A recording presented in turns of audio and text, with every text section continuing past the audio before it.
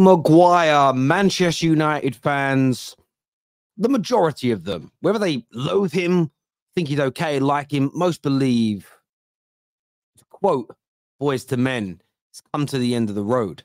In the summer, a deal could not be done. The media told us that deal fell through because the player did not want to agree to a pay cut. Now, the player has kind of come out publicly during the international break and has somewhat debunked this and said that wasn't the case at all. The deal between Manchester United and West Ham was never done. He stated that playing football is more important to him.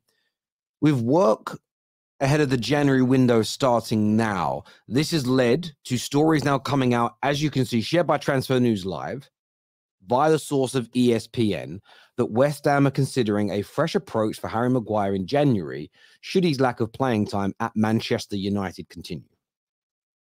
And there's nothing that suggests his lack of playing time will not continue. Yes, right now there's, issues over the long-standing fitness of Rafael Varane, but Luke Shaw is closing in on a return. And the manager has shown in the past that he's more likely to play him at centre back than Harry Maguire. Come January, you would expect all of our fullbacks to be back with, within reason. Lisandro Martinez to be back and hopefully fully fit. And the club really wants to invest in new centre backs, Todibo being one of them. And there's a number of other players and centre backs across Europe right now that Manchester United is scouting that they want to bring in, they believe will improve that defensive line. So even if Maguire is getting more game time, unless he is back to the peak of his powers and looks flawless and brilliant, I still believe the manager is going to want to look past him and say, Great, but I want something more. I want something better. Personally, I think this is the best for everybody.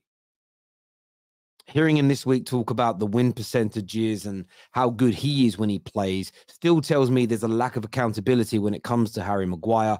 Personally, I don't want that attitude at Manchester United. You can call me foolish, you can call me silly, but I want him to move on for him, for the club. It will probably improve West Ham and it will likely make England better if he's playing regular football as well. Because generally speaking, in the Three Lions shirt, Maguire has rarely put a foot wrong.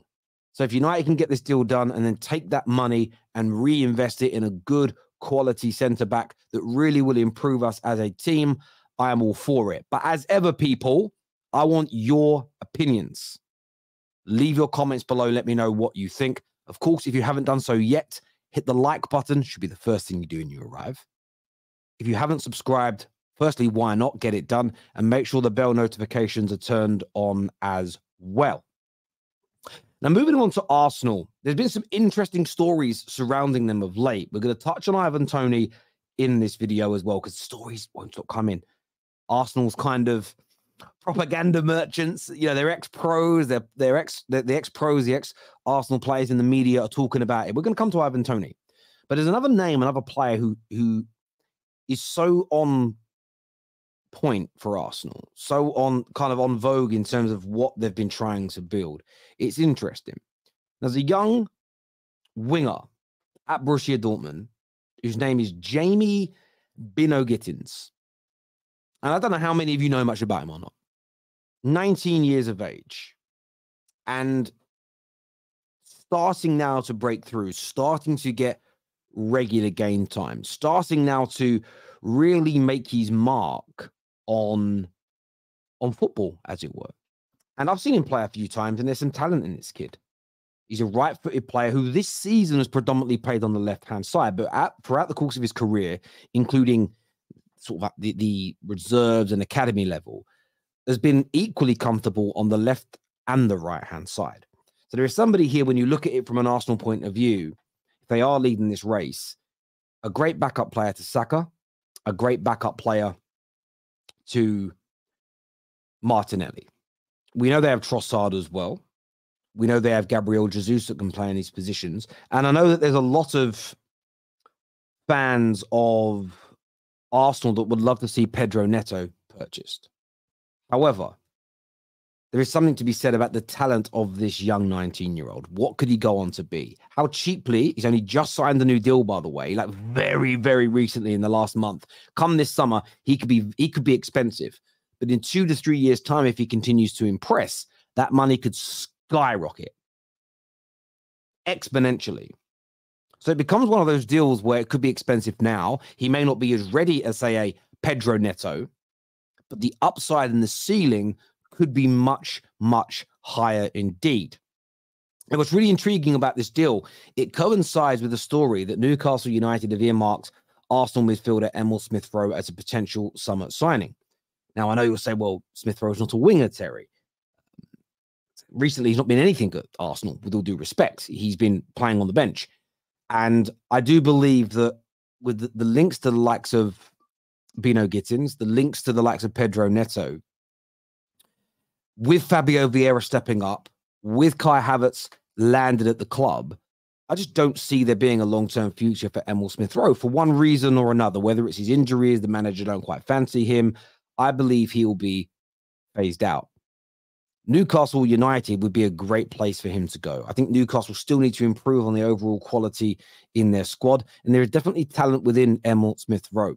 So don't be surprised to see the idea that maybe Bynoe Gittens, maybe Neto, maybe Toney could all come in with a number of exits still to come from Arsenal. Because if you were to get rid of Emile Smith Rowe and Reiss Nelson, I know they're academy players. I know they're loved by the, by a lot of the Arsenal fan base.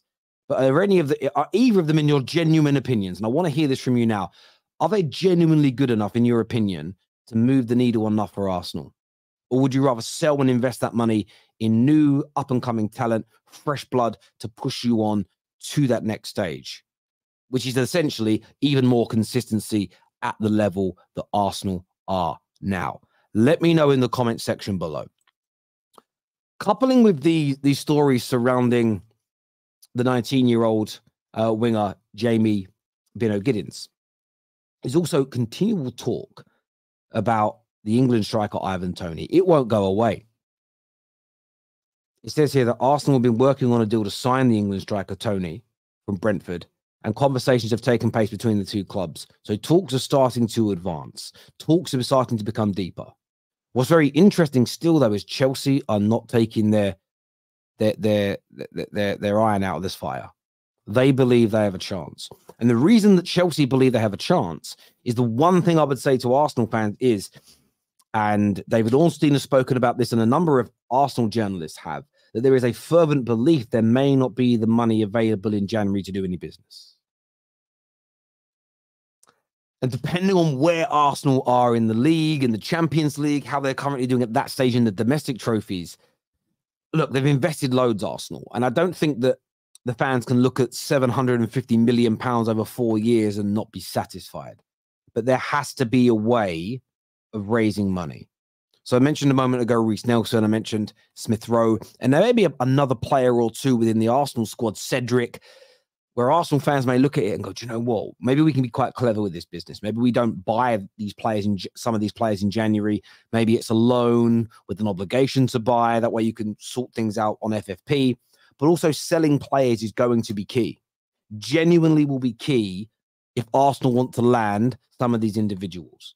But Ivan Toney, Jamie, Bynoe Gittens, Pedro Neto, these players linked to Arsenal are massive. But listen, Chelsea, don't write Chelsea off.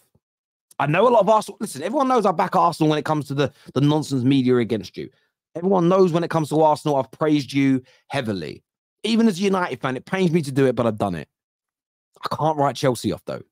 I can't sit here and go, yeah, 100%. I would pick Arsenal if I was Toney between the two, but that doesn't mean Chelsea can't land him. And this is why Arsenal fans have to push because you say, well, we'll leave it until the summer, who knows what happens between January and the summer? What if Chelsea swoop in in January and take him? That means the summer moves off. You, I think you have to demand your club goes and gets these players in January. That's my take. Chelsea fans, do you think with these financial issues that Arsenal maybe face, could you get it done? Let me know.